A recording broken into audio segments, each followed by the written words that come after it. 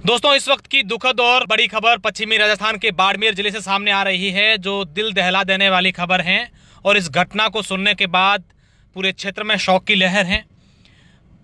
मैंने कुछ दिन पहले आपको एक और खबर दिखाई थी, जो इसी थाना क्षेत्र की थी और उसी थाना क्षेत्र के एक गाँव में आज एक और ऐसी घटना घटी है। दो मासूम बच्चे, सगे भाई बहन एक बच्चे की उम्र चार साल और बच्ची की उम्र छः साल है। दोनों घर के बाहर खेल रहे थे। इस दरमियान जो बच्चा है वो खेलते खेलते पानी के टांके में गिर गया और उसे बचाने के लिए आप यकीन मानिए कि छः साल की मासूम बच्ची उसकी बहन उसके पीछे टांके में कूद गई। उसके मन में था कि मैं मेरे भाई को बचा लूँगी, लेकिन वो नादान थी। उसको क्या पता कि हम भाई बहन दोनों इस टांके से कभी बाहर ज़िंदा नहीं निकल पाएँगे। और ऐसा ही हुआ, उन दोनों की पानी में डूबने से मौत हो गई। घटना की जानकारी मिलने के बाद पुलिस मौके पर पहुँची है। दोनों के शव बाड़मेर के जिला अस्पताल स्थित मोर्चरी में रखवाए हैं। यह घटना बाड़मेर के नागाना थाना क्षेत्र के शखरोड़ा चोखला गाँव की है, जहाँ पर आप देखिए कि दो मासूम बच्चे, सगे भाई बहन एक की उम्र चार साल बच्चे की और उनकी उसकी बड़ी बहन छः वर्ष की मनीषा, दोनों के पानी के टांके में डूबने से मौत हो गई है।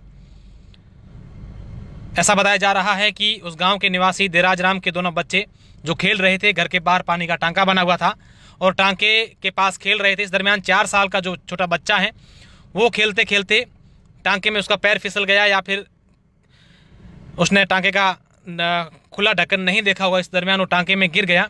तो उसकी बहन जो छः वर्ष की थी, महज छः वर्ष की, उसने आम देखा, न ताम, और अपने भाई को बचाने के लिए वो खुद उसके पीछे कूद गई। और जिससे दोनों की पानी के टांके में डूबने से मौत हो गई है। ये तस्वीरें आप जिला अस्पताल स्थित मोर्चरी की देख रहे हैं। और ऐसी ही घटना कुछ दिन पहले नागाना थाना क्षेत्र के बांद्रा गाँव में हुई थी, जहाँ एक आगजनी की घटना में तीन मासूम बच्चों की ज़िंदा जलने से मौत हो गई थी। उसमें भी तीन जो बच्चे ज़िंदा जले थे, उसमें से दो सगे भाई बहन थे। उनकी की भी उम्र चार साल छः साल थी। और आज एक बार फिर कुछ दिन बाद ही ऐसी एक और घटना घटी है। अब इस पूरे घटनाक्रम को लेकर नागाना थानाधिकारी नरपतदान जी ने क्या कहा है, जरा वो भी सुनिए।